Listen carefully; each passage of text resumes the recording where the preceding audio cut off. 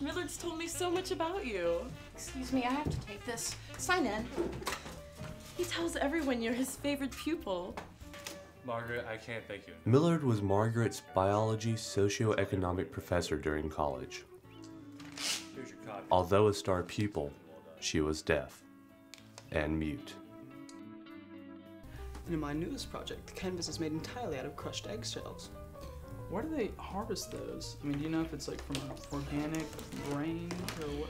And this is Millard's colleague from the university, Dr. Lemuel McCullough. Hi. How do you know Millard?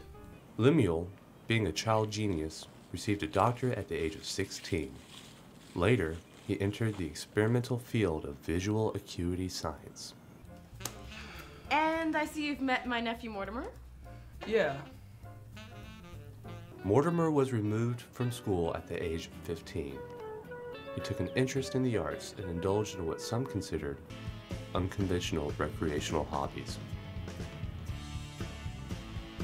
Okay, well, this is them calling right now. I'm telling them you're signing on. Yeah, do You're it signing now. on. Do it right now. Hello? Hello? What was that all about?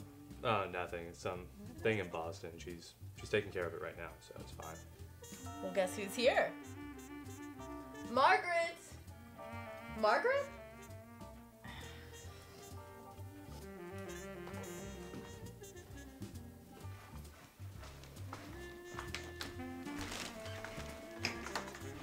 I'm so glad you're here. It would not be a celebration of Volume 4 without you. After publishing three volumes of Quadratic Discounting in You and receiving mass acclaim, he spent 15 years struggling to complete the fourth volume. His literary demise is often blamed on his sudden marriage to noted free spirit Sycamore Prudeau. Margaret! Why don't you go? Why don't you go help Sycamore? Uncle Millard, you have to open my gift first. You'll never guess what it is. Attempting to break convention, Mortimer inscribed a dozen balloons with famous literary quotations such as the snot green sea, the scrotum tightening sea, Thank you, Mortimer. This was James Joyce, Ulysses. and individually wrapped. Well done. Good. Margaret! Would you help me with the candles? Can you believe I did this with a solitary eggplant? Concerned with her husband's health, Sycamore substituted traditional ingredients for Millard's cake with a healthy alternative. Millard, you get the first piece.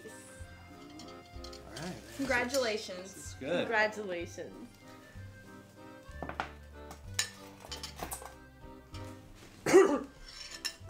Although there was a doctor in the room, Lemuel's visual acuity was of no assistance.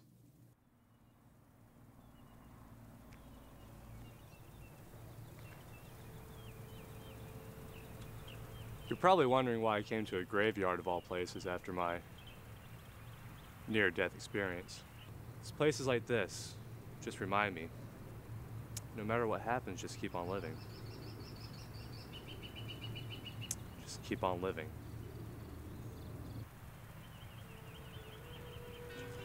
All right, let's go.